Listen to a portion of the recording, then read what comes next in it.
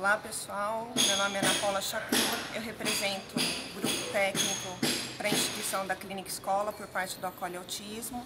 Nós estamos aqui hoje na quarta-feira fazendo a primeira vistoria do ano para acompanhar o andamento da obra. A nossa expectativa é que dentro de poucos meses esse serviço realmente é, comece a funcionar e atender a grande maioria da população carente, de pessoas com autismo e deficiência intelectual na cidade de Santos.